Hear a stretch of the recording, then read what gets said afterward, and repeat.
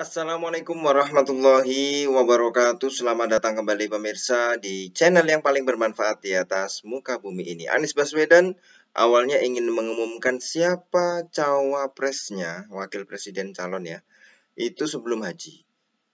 Terus kemudian sebelum berangkat nanti setelah uh, dia mengumumkan nanti setelah haji akan diumumkan siapa cawapresnya.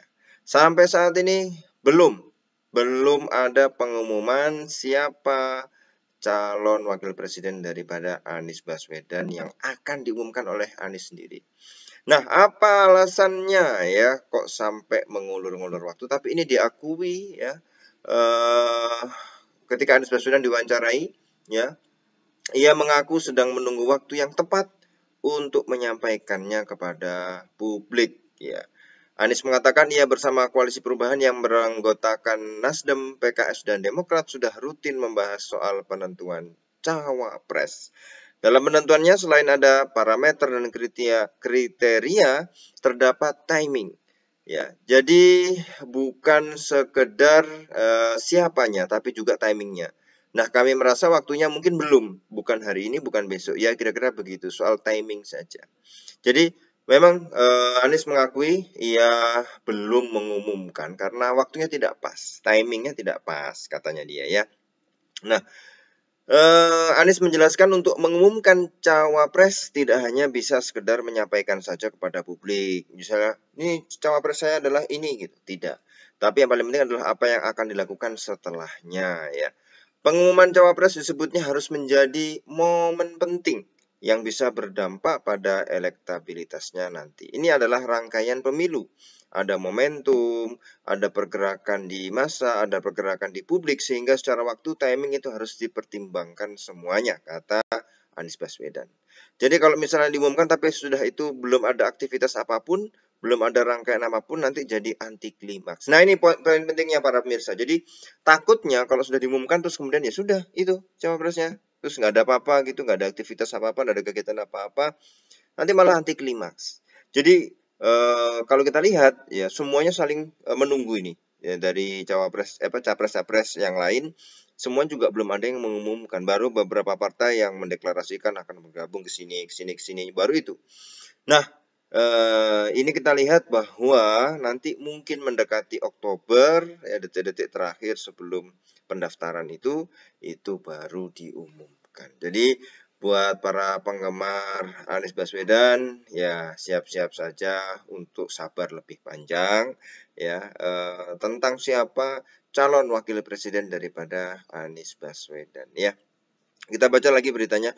Lebih lanjut, ia merasa untuk penentuan nama pendampingnya sebenarnya adalah proses yang lebih mudah untuk dijalankan karena sudah ada pilihannya. Ia meyakini nantinya timing akan menjadi penting di sisa waktu sampai Oktober 2023 saat pendaftaran Capres-Cawapres nanti. Ya, secara umum, ya prinsipnya akan tentu pasti bilangnya lebih awal lebih baik supaya bisa ada kesempatan untuk berkampanye lebih luas, menjangkau lebih banyak ya. Tapi sisi lain juga kita lihat konstelasi-konstelasi yang ada ya. Nah, ini jadi uh, memang masih agak lama dan kita lihat saja kapan ini ya diumumkan ya siapa pun boleh untuk uh, dicalonkan dipilih ya. ya kita lihat juga capres-capres yang lain juga apa namanya belum ada satupun yang mengumumkan siapa calon wakil presiden ya ini menarik para pemirsa ya jadi uh, kita lihat ya di bulan akhir Juli ini ya. Belum ada sama sekali walaupun sudah haji. Ya kemarin katanya sebelum haji saya umumkan. Ya ternyata waduh nanti aja. Setelah haji setelah pulang haji juga belum ada. Ya sepertinya kita lihat sedang mengulur-ngulur waktu ini ya. Apakah ragu? Apakah belum ada ketemu tokoh? Atau ini masih eh, dilihat eh, di ya untuk menaikkan elektabilitas. Karena kita lihat dari beberapa survei belakangan Anies Baswedan selalu eh, menjadi yang eh, terendah ya.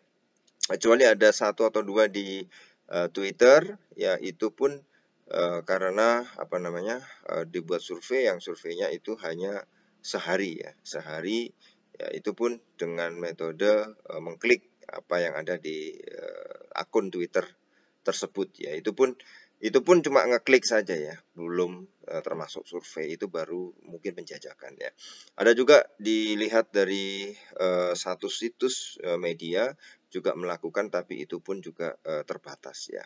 Dari survei-survei uh, lembaga survei ya yang ada yang biasanya memang uh, menggeluti apa namanya angka-angka ya yang memang dengan responden yang jumlahnya ribuan yang ditanya dan segala macam ini Anies Baswedan masih peringkat ketiga dibandingkan dengan uh, Ganjar Pranowo dan uh, Prabowo Subianto. Ya, jadi memang kelihatannya masih gamang, masih belum ketemu. Karena ada beberapa tokoh yang dilamar itu pun mengatakan uh, dengan uh, tidak mau ya untuk bergabung menjadi cawapres atau uh, calon wakil presiden daripada Anies Baswedan. Apakah sesusah itu? Ya enggak juga sebenarnya. Cuma mungkin belum ketemu yang pas ya. Kalau kita bahasa sehari-hari mungkin belum jodoh, belum ada ketemu jodohnya. Nah itu ya.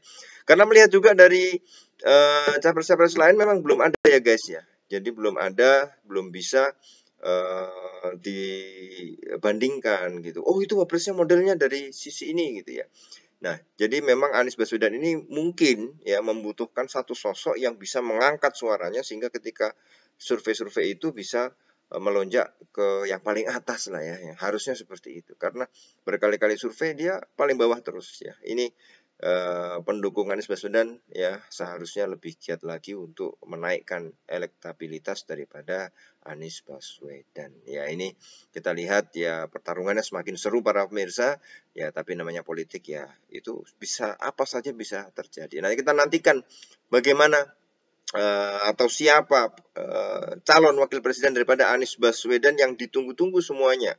Karena bisakah calon ini, calon wakil presiden ini menaikkan ya elektabilitas daripada uh, Anies Baswedan itu. Kalau enggak ya sama saja. Ini ya uh, bisa membahayakan ya suara daripada Anies Baswedan itu. Nah, kalau menurut Anda para pemirsa, siapakah yang paling cocok ya untuk jadi cawapres? Mungkin bisa tulis di kolom komentar, bisa di-sharing kenapa ya Anies Baswedan mewakili apa, wakil presidennya nanti calon wakil presidennya mewakili apa gitu. Itu menarik sekali kalau bisa kita uh, diskusikan di kolom komentar. Terima kasih para pemirsa, kita akan ketemu lagi di video selanjutnya. Wassalamualaikum warahmatullahi wabarakatuh.